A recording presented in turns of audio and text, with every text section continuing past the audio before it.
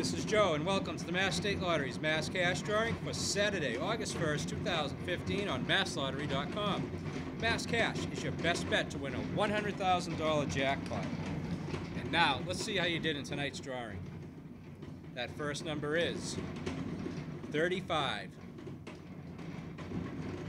Next is 8, followed by 21. If you've matched these three numbers, you've already won a prize. Here comes 17, and finally, 1.